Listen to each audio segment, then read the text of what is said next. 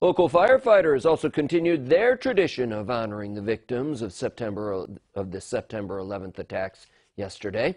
The Binghamton Firefighters Benevolent Association hosted the 12th annual Binghamton Fire 9/11 Memorial Stair Climb at Mirabito Stadium.